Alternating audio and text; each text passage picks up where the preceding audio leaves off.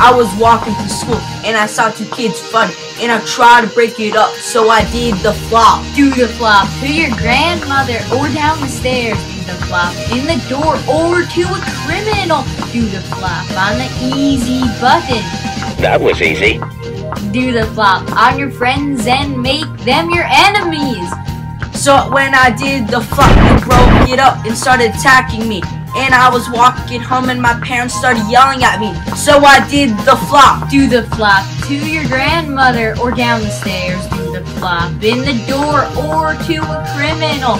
Do the flop to your parents. So when anyone is making you angry now, just listen and do the flop.